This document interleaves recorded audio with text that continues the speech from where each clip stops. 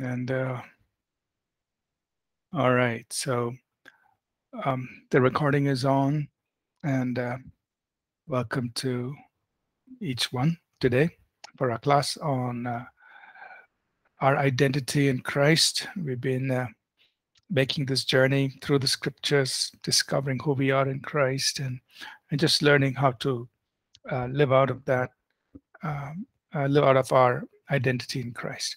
Okay, let's pray and we'll get started. Uh, Subhashish Singrayan, can you lead us in prayer, please? Yes, Pastor. Heavenly Father, once again, Lord, we thank you so much for this uh, beautiful morning. Lord, I thank you for bringing us together once again, Lord, to know more about you, your word. As Lord, this morning, once again, Lord, we are going to learn about identity, Lord, in you, Lord. Help us to understand that, Lord, who we are, Lord. And help us to reflect uh, your identity through our life, Master. Once again, Lord, I pray for the pastor, Lord, as uh, he's teaching us, Lord. I pray that you bless him, anoint with your power, with Holy Spirit, Lord, and bless each one of us, Lord, so that we will not only hear, but, Lord, we will store your word in our hearts, Master. We thank you, praise you. Jesus' name I pray. Amen. Amen. Amen. Thank you. Thank you so much. All right, and I, I know um, students are uh, still connecting to the class. All right, so in our journey thus far, in talking about the subject of our um, identity in Christ, uh, we uh, we've covered the fact that we are new creation, that this was something God had planned uh, before time, and then we also talked about the um, uh, uh, we focused in on you know how we came to be in Christ and you know what it means to be a new creation. And then we started last week in section three. Uh, we started talking about the fact that we are justified and made righteous. So I'm going to move over to the PDF. Uh, uh, the reason I'm delaying is if students have not connected and uh, if I move to the PDF, sometimes they get um, blocked out. Anyway, uh, all right, maybe we'll just uh, take a question or two. I just want to let students in because if I shift to the PDF for some reason, um, Google Meet doesn't let students in. The auto admit feature doesn't work very well. All right, we'll just take a moment. Uh, any questions um, so far? I mean, have you, as you have been listening and thinking about uh, this whole truth, this whole revelation in the New Testament of who we are in Christ and of our identity in Christ. Any questions that have come up? Any thoughts that uh, you've been pondering on? Anybody? You're free to ask or uh, just take a few minutes on that before we get into the lecture. Any questions?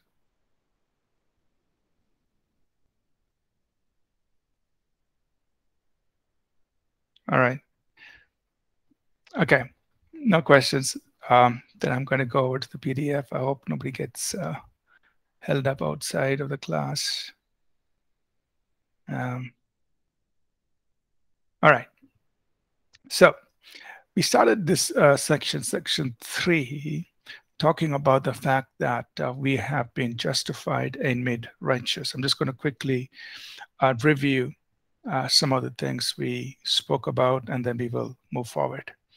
So we started out the fact that you know uh, many believers struggle with a sense of unworthiness, guilt, and shame. Uh, but what we need to know is that in Christ, uh, we have a brand new identity before God. And our identity before the Lord is that one of without blame, covered in his love. So we start off looking at certain scriptures. We looked at Ephesians 1 4, that um, you know he chose us in him, that's in Christ, even before the foundation of the world. Uh, and he wanted us to, and he chose us so that we would be without blame before him in love. So in Christ, you and I are standing before God without blame. That's our position before God, without blame. no fault or faultless, unblameable. That's how God sees us. And we also looked at Colossians 1 20 to 22 that because of what Jesus did on the cross, we are holy and blameless and above reproach in His sight. So we made these statements. We are uh, above reproach. That means we are unaccused, unimpeachable, innocent, without anything that makes us guilty before God. You know, that's our standing. We also said that we are accepted in the beloved. So our standing before God is we are accepted. God welcomes you when you come before Him. God welcomes you as you pray, as you seek Him. Uh, and uh, so we are highly favored. We are covered with grace. Uh, we are surrounded with favor. We are honored with blessings before God. We also looked at 1 Corinthians 6 9 through 11 that regardless of our background, and all of us have, you know, history, and regardless of our history, right now, in Christ, we are washed, we are sanctified, and we are justified. So we're looking at these two aspects washed. So, washed means uh, all the filth is gone, the dirt is removed. Sanctified, we look at that in the next uh, section. And justified. So, this is important. The word justified um, and the word made righteous, they come from the same Greek word, justified. So uh, uh, to be justified means we are acquitted, we declared not guilty, we're completely forgiven, made innocent, made just as if I never sinned. Right. So uh, uh we mentioned this that uh, to be justified, to be made righteous, they come from the same word, Greek word, it means the same thing. That means we have a right standing with God. We are in, you know, in right standing before the Father. So, as part of this, uh, this is something God Himself did. He gave us His righteousness. So we looked at uh, some of these scriptures here. I'm just reviewing uh, Romans 3:22. The righteousness of God it comes through faith in Jesus Christ. It's given to all. That means to every person. And it is on every person who believes. So you think about this the righteousness of God, that God's own blamelessness or God, God's own faultless, you know, I'm just making up these English words, faultlessness, God's own blamelessness. I mean, God is Nobody can find fault with God. He's blameless, he's righteous. That aspect of who he is, God puts it on all and he gives it to all who believe in Jesus Christ. So it's just through faith in Christ. That means we just believed. It was just faith. And we received this, the righteousness of God. And First Corinthians 1 and verse 30 says, you know, we, we looked at this that God has brought us in Christ Jesus. That's the whole theme we are studying in Christ Jesus. And when because we're in Christ, Christ has become to us our righteousness. So who is your righteousness? Christ. That means uh, we could make the statement, you and I are, are as righteous as Jesus Christ, because Jesus Christ is our righteousness. So when we stand in the presence of God, God has made it possible for us to even stand there. Why? He gave us his own righteousness. Without that, we would not be able to stand in his presence because we have no righteousness of our own and we could never attain it by any means. So God gives to us his righteousness. Christ himself becomes our righteousness.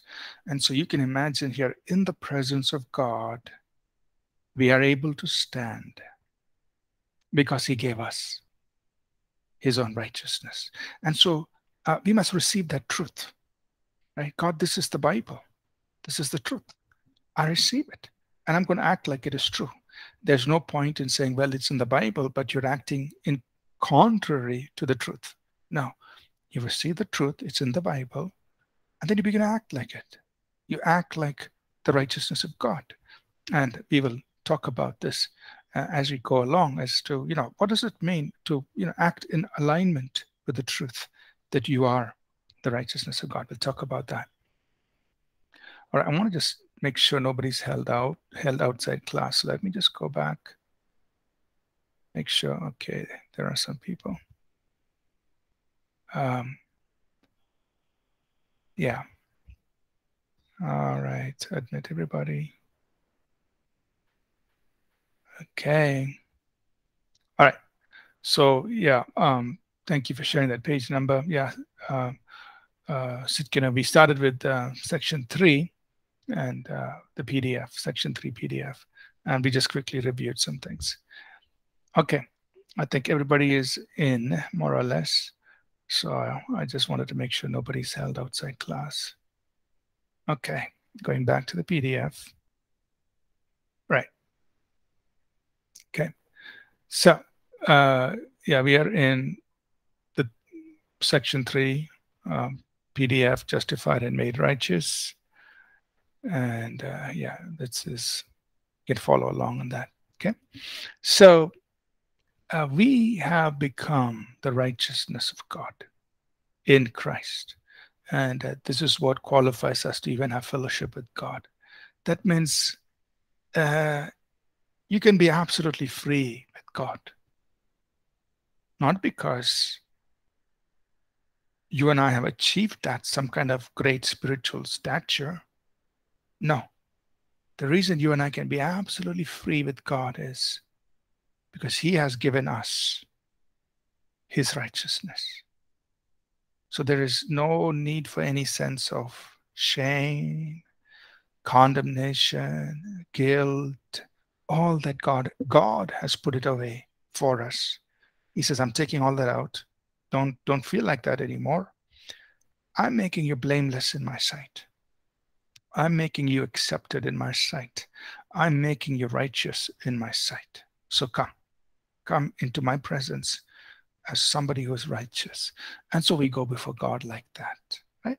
Now, of course, when we do something wrong, we have to confess that and we have to acknowledge it and turn away from it. That is important. Uh, we will mention that as well a little later. But I'm just talking about on a day to day spiritual walk with God. We must embrace the truth that we are the righteousness of God, and therefore we're going to act like that. We're going to live according to this truth. Now, uh, we said that we are justified and righteous through faith. So we read in Romans 3, verse 22. Uh, it is simply through faith in Jesus Christ. So, other than that, God is not asking us to do anything. Just have faith and believe in who Jesus Christ is. Believe in Christ. Then the righteousness of God is yours. And we uh, stopped somewhere here as we looked at Romans 5 1 and 2 last week. As we said, we have been justified by faith, that is, we are made righteous by faith. And what does this do for us? It gives us peace with God. That means we're not fighting with God. You know, sometimes we hear people use the phrase, I'm fighting with God, I'm wrestling with God. Uh, and we understand that uh, um, they are actually, you know, talking about uh, engaging intensely with God in prayer and uh, and so on. Uh, but keep in mind that our relationship with God is not not one of struggle. It's not one of animosity. Uh, it's not an you know hostile relationship with God. God is not mad, mad or angry or upset with any of us because we have been justified by faith. So we have peace with God. So your our relationship with God is one at peace. Uh, we are in a good good standing with God, and it's possible through our Lord Jesus Christ. And it is through him, that is through Jesus, we have access by faith That means we have been able to enter into this just by faith. You see, uh, I just want to emphasize that it's just by faith. You're able to enter into this. Into what? This grace in which we stand. We are in a place of grace before God. That means we're in a place where God says, I'm going to be gracious to you. I'm uh, just giving you my favor. So remember, today, right now, regardless of our past, um, regardless of what has happened, the blood of Jesus Christ has taken care of all that. Today, you and I are standing in a place of grace before God. That means we're in a place where we are highly favored by God. He's going to be gracious to us. And we entered in just by faith, faith in Jesus Christ. And therefore, we rejoice in hope of the glory of God. That means we are joyful even of the things we are going to receive in hope of the glory. There's, there's even better things up ahead. You know, today we are in just this awesome place of grace, which is wonderful. We have peace with God. But there's even much more that God has in store for us. And so we rejoice in hope of all that God has given to us. All right. So this is as far as we covered. Uh, we're going to move forward here. Uh, uh point or point 27 uh, in this in this PDF.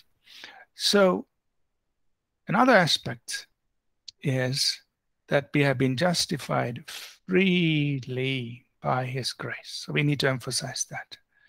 How have we been justified? How have we been made righteous? We said it's by faith, but it's also freely by His grace. That means we didn't earn it.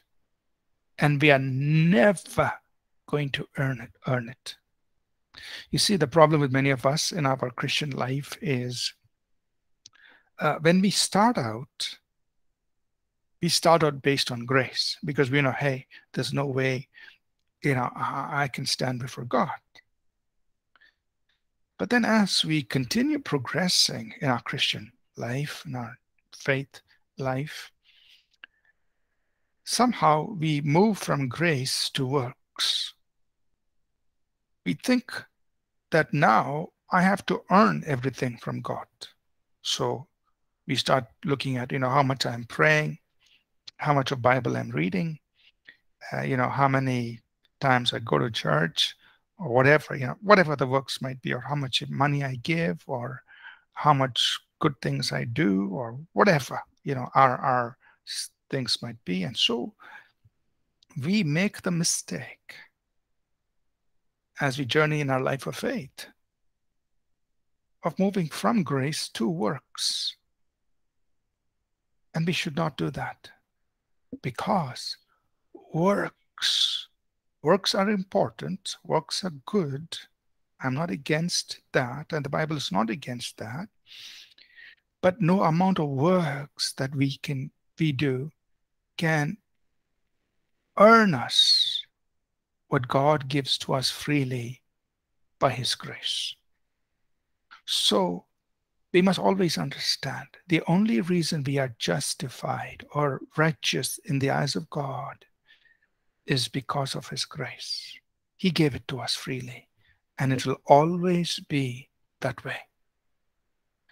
Now, we do good works, we do good things, we love people, and we help people, and we serve people, and we do all that because of the goodness of God to us. God has been good to us, so let's be good to other people. God has been gracious to us, so we are going to be gracious to other people. Uh, God has been merciful to us, so we are going to be merciful to other people. That's the motivation. The motivation is not, I have to be good to other people so that I can become right in His eyes. No. I am right in His eyes. He gave it to me freely by grace. He's been so good to me, so let me be good to others. See, that's the motivation. And we must always remember it's by His grace. And once again in Titus chapter 3, verses 4 through 7, uh, it repeats, you know, we have been justified by his grace. You know, we have been uh, the kindness and the love of God. Now, so God was being great, kind, and expressing his love, not by works of righteousness which we have done. And it's not any good works we did, and it will never be by any good works we do, but by his own grace, he justified us, made us right in his eyes. Right. So remember, it's always by grace. Now, it's the third aspect is we are justified and made righteous by his blood. By his blood. Uh, somebody could read this, please. Uh, Romans chapter 3, verse 24, 25.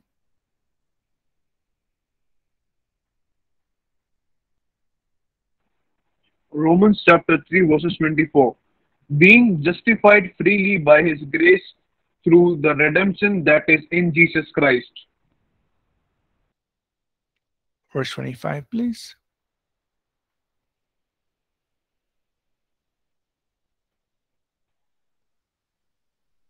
Yeah, go ahead. Hello? Yeah, Can I read? Go ahead, please. Whom God set forth as a propitiation by his blood through faith to demonstrate righteous, his righteousness because in his righteousness God has passed over the sins that were previously committed. Thank you. Thank you. Thank you. Thank you both. All right. So Romans chapter 3, verses 24 and 25. The scriptures are telling us that we have been justified freely by his grace.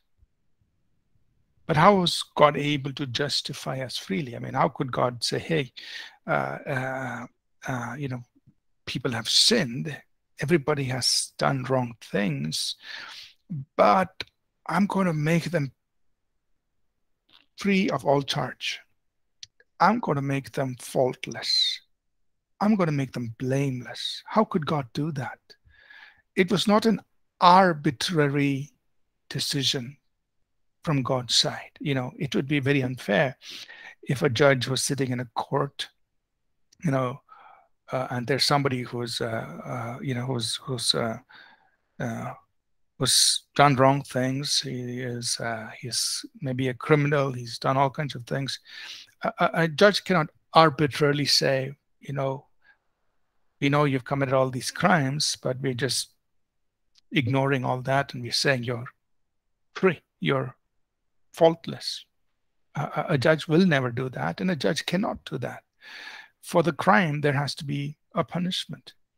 So the God as, as judge, how is he able to freely by his grace justify us, make us faultless, make us just as if we never sinned?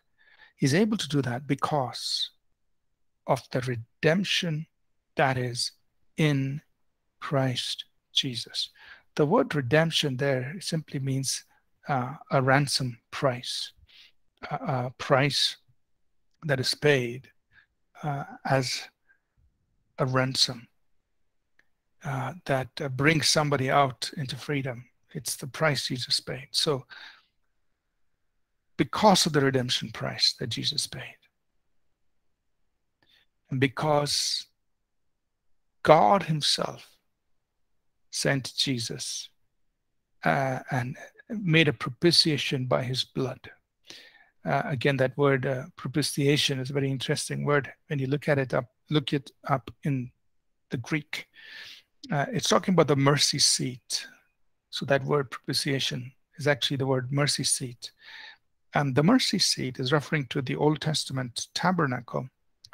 Uh, it was a place where the high priest went and he sprinkled the blood of the atonement. And on the mercy seat, God said, I will meet with you. Right? So Jesus became our mercy seat. And he offered his own blood so that our sins could be forgiven and we could meet with God. We could be reconciled to God. So, because of Jesus being our redemption price, because Jesus paid the price for our sins, God can say, I can freely forgive you and I can make you faultless in my eyes. So that's the reason. So we are so indebted and so we always remain so grateful for what Jesus Christ did for us. And we find this repeated for us in several other places. Uh, could somebody please read Romans 5 9 for us?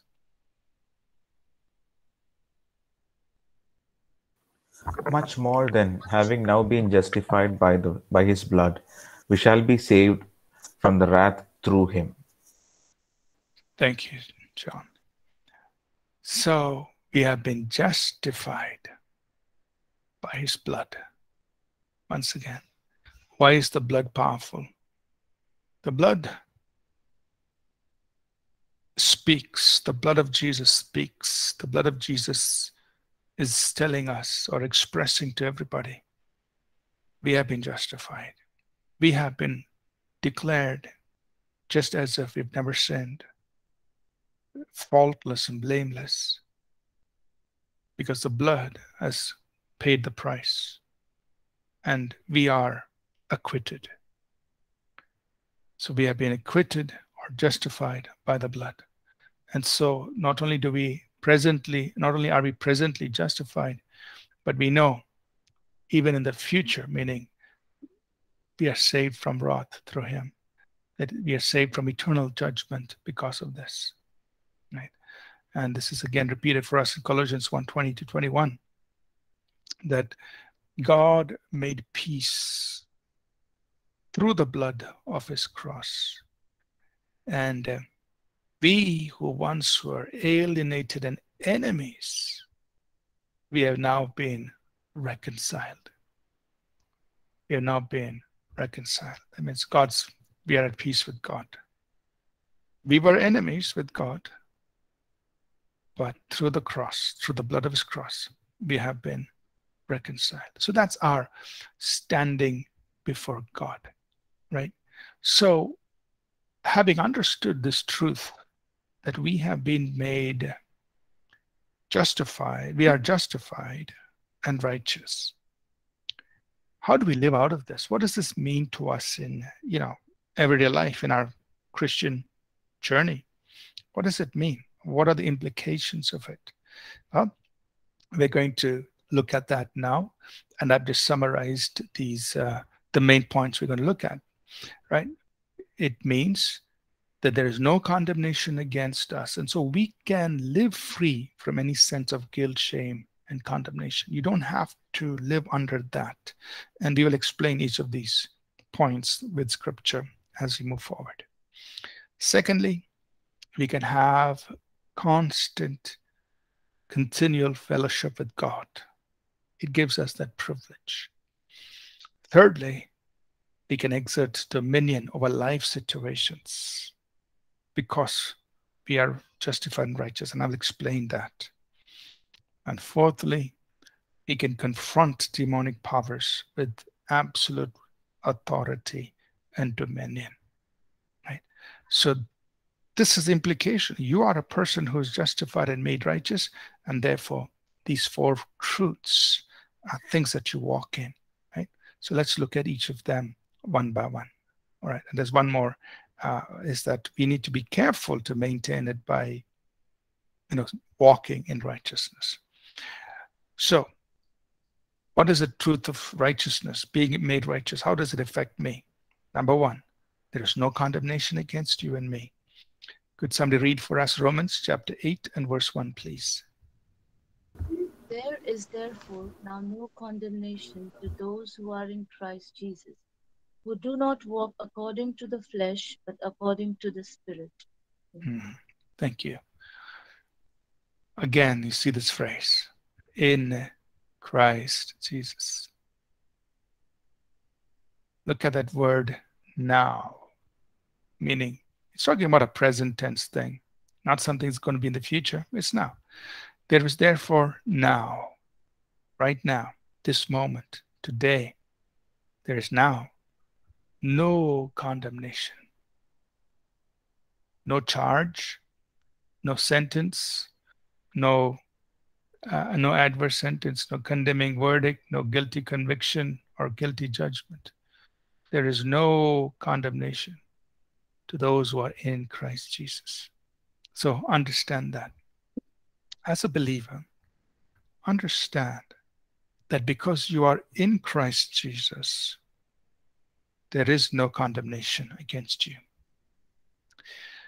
Now, we must understand one of the devil. The Bible calls Satan as the accuser, accuser of the brethren. Now, you find that in Revelation chapter 12, verse 10, 10 11. Satan is called the accuser of the brethren who accuses us before God day and night. So, what's the strategy? Sorry, accuse us before God. That means he's saying, "Hey, you are you uh, are you know you are not accepted before God. God is angry with you. God is uh, upset with you. God doesn't favor you." Uh, so he accuses us, and this comes in the realm of our mind. So he puts these lying thoughts, these accusing thoughts, these condemning thoughts, these thoughts that accuse us before God. And these thoughts keep coming to our mind. So need to understand that this is a strategy of the enemy. He is called the accuser of the brethren of God's people. And so he's going to keep, you know, reminding us, putting these thoughts, intercepting our thinking with these lying thoughts that are accusing us, making us feel shamed, ashamed, condemned, uh, guilty before God. But that's when you and I must look to the Word of God and say, The Word of God says, There is no condemnation to me who am in Christ Jesus if I've done something wrong, I will repent of it. I'll ask the Lord to forgive me. That moment, He cleanses me, He forgives me. I don't have to live, or we don't have to live under a sense of guilt, shame, and condemnation. You know, so this is Satan's tactic, trying to keep us condemned and make us feel accused and then, because of a sense of guilt, shame, and condemnation, uh, many believers they don't do anything. You know, they just say, "Hey, God's upset with me. God's angry with me, so I'm not going to do anything." They just stay away uh, from serving God or praying for people or you know just making themselves available in God's hands. But we must understand the way we deal with these lies is by believing the truth believing the truth. The truth says, God's word says, there is no condemnation to you because you are in Jesus Christ. So you just accept that. Say, Father, I thank you. Uh, there is no condemnation against me. I accept it. Right? So, in connection with that, let's read a couple other scriptures. Romans chapter 8, verses 33 and 34. Somebody could read that for us, please. Who shall bring a charge against God's elect? It is God who justifies. Who is he who condemns? It is Christ who died, and furthermore is also risen, who is even at the right hand of God, who also makes intercession for us. Amen. Amen. Thank you. So, in that same chapter where Paul began by saying, There is no condemnation to those who are in Christ Jesus. Paul goes on, says, you know, who can bring a charge or an accusation against God's people? Who can charge? Who can point a finger? Who can accuse you? Why? It is God who has already justified us. It is God. Know, it is God who said, I have declared that person blameless and faultless. So the, the highest judge has already acquitted you in me. Who's going to condemn me? Condemn you and me? Who is you condemns? Because Christ died, Christ rose from the dead and he's at the right hand of God and saying, Hey, I've paid the price for them to be justified. So the judge is on our side. And right there is Jesus who has already paid the price to acquit us. So there is no way any accusation, any charge is going to prevail. No charge against you and me will ever stand in the before God. It won't stand because God, the righteous judge, is the one who has justified you and me, and Jesus Christ, the one who paid uh, the ransom price, is right there. So we can be absolutely confident in the presence of God. And now there is no condemnation. So I choose, I'm making a deliberate choice not to let myself come under any sense of guilt, shame, and condemnation. The moment I feel like that, the moment you and I, we feel condemned, guilty, throw it off. Don't accept it. Say, no, I don't accept this.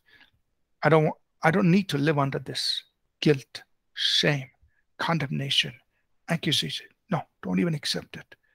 Because the Bible says there is no condemnation against you because you are in Christ and there's no charge that can stand against you before God. So don't even accept it. And remember, Uh, you know, Romans 3:26 tells us this that God, He, talking about God, is just, He's fair, there's no unfairness, He is just, and the justifier of the one who has faith in Jesus. That means God is the one who is sitting as the righteous judge. And the righteous judge himself has justified or acquitted you and me. So that's what Paul is saying. You know, the righteous judge has already acquitted you. So there's no way there can be any condemnation against you. Right? So um, can somebody read Romans 8 1, please, from the Passion Translation? Can somebody read this for us? So now the case is closed. So now the case is closed. There remains voice of condemnation against those who are joined in life union with Jesus, the Anointed thank One. you. Uh, I'm sorry, but uh, someone else was trying to read. Yeah, thank you. So, you know, it's, it's kind of interesting how the Passion Translation puts it. It's putting it in modern English. It says, the case is closed. It's over. Case is closed. Court is dismissed. So there are no more court hearings against you. It's over. Think about that. Now that's how you and I must behave. The case is closed, court is dismissed, no more hearings. Why? Because there is no accusing voice of condemnation against those who are joined in life union with Jesus. So no more charges against you. No more charges. The question is, will we act like that? Satan, the enemy, is going to try to do the exact opposite. He's going to bring accusing voices. He's going to try to tell us lies, the exact opposite, and say, hey, God doesn't like you. God is angry with you. God is upset with you. All those things. But you need to stand by the truth. Hey, case is closed. Court is dismissed. No more charges against me that I'm going to live completely free from any sense of guilt, shame, and condemnation. Now, sadly, sometimes people may accuse us. People may look at us or, you know, say things about us that may be condemning. Again, over there, you just need to say, tell yourself, I believe the Bible. The Word of God says there is no accusation against me. Now, if I have done something wrong, of course, I'm going to admit it and I'm going to you know make it right. I'm going to tell somebody sorry if I've offended them or you know done something. Obviously, I'm going to take responsibility. But once I've taken care of it, I've said, God, I'm sorry. Remember, everything is put right. There's no more accusation. Let's move on to the second one. I hope I've, I know I've spent a lot of time on the, this one. The second practical aspect of being made righteous uh, and justified in the eyes of God is it gives us boldness to enter into God's presence. You know, think about that. You know, God is so holy. God is perfect. And the Bible says that God dwells in unapproachable light. That's his presence. He is so magnificent. Right? He is the father of lights. You know, so we understand in the natural, you know, uh, when you think about uh, the billions of stars, they're all lights, you know, and uh, um, the stars are so big the sun itself, one star that's closest to us, is huge, so many million miles wide. Uh, and uh, it's full of these gases that are emitting and light coming forth. One, one star, and like that, there are billions of stars. But God, who's made them, He is the Father of lights. I mean, He is intensely more uh, full of light than all these stars that we are aware of in the natural. God is light. God is holy. There's no way you and I can enter the presence of God. But we have said, God gave us his righteousness. And God is saying, Come into my presence.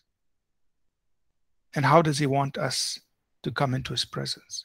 He wants us to come with boldness with confidence, with our heads held up high. That's how he wants us to come.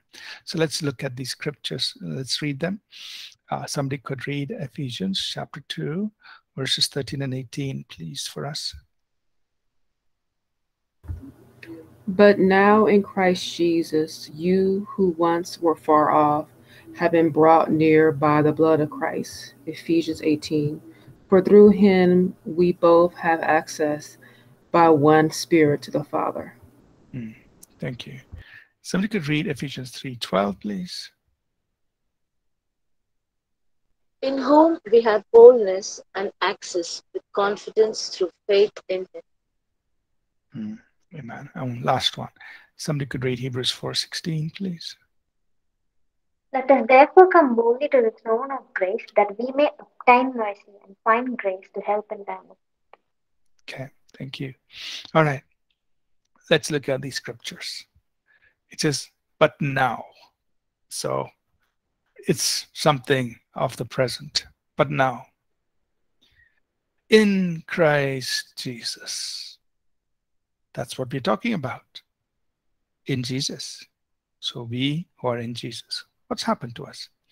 We who once were far off, know, we had no relationship with God. We didn't care about God. We were living our own life. many cases, we had no knowledge of God. We were far off from God. But that was the past. We who once were far off. Now, in Christ Jesus, we have been, we have been brought near. So we have being, being brought near. That means we are close to God. Where are you now? You're not far away, you're near to God. Sometimes we don't feel near to God. You know, it could be maybe because of these lying thoughts of the devil in our mind you know you're so far away from god. Or sometimes it's just our own feelings. I mean maybe it's just not you know things you just don't feel great uh, you know. But the truth doesn't depend or is not affected by our feelings. The truth says, now, every day it reads the same. Now, this moment, in Jesus Christ, you are near to God. So whether we feel like it or not, now, in Jesus Christ, you are near, near to God. You're not far away, you're near, close to Him. Now, you say, oh, how near is near? Well, it's, you know, the Bible tells us we're at His right hand. He can hear your whisper. You're near. You're seated at His right hand. Right? So, this is what you're you're standing. You're because you're righteous. You're near to God, and of course it says through the blood of Christ, and through Christ we have access. We have access. You have access to the Father by the Holy Spirit. You have access. Never has that access been denied. Never has that access been withdrawn? Because you're in Christ Jesus. Through Jesus, you have access by the Holy Spirit to the Father. So, as a person who's in Christ, every moment of every day, you are near to God and you have access to Him. Every day, every moment. He can hear your whisper. So you have boldness in the presence of God. You have the confidence that you can talk to Him. You can whisper to Him. You can pray however you want. You are near and you have access.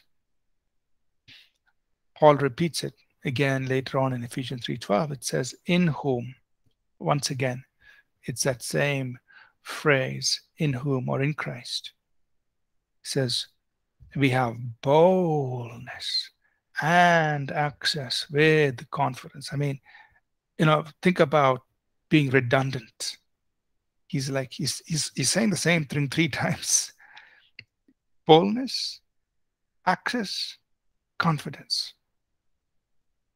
So in Christ, He's saying, I, I really want to get this across to you. He says, In whom we have, this is a present tense thing, this is what we have boldness, access with confidence through faith in Jesus. So, how do you and I approach God? We do not sneak into God's presence you don't have to come through the back door. You know, or we don't have to kind of slide, slip in a piece of paper. Oh God, this is my request. Can you please handle it? You don't have to go through a third party. I mean, there's nothing wrong in having, you know, other people pray with you or pray for you. Absolutely nothing wrong. But you don't have to depend on that. Or you don't have to think that's the only way. No. You can go boldly and with confidence, you can access God because you are in Christ. So, this is the second implication of being made righteous. When we pray, we pray like this. We pray as people who are near, who have access, who have boldness and confidence before God. Okay. I'm going to pause here and uh, we will take a quick break. We'll come back to the same point here and uh, uh, we will, uh, you know, kind of talk a little bit more uh, about this. And uh, and then I will, yeah, I will take questions. Um, you know, after I just saw this question in the chat. So we'll come back after the break and we will take up this question and any other questions. Okay. Right, let's go for a quick uh, 10 minute break and see you in 10 minutes. Thank, Thank you. you. Thank you.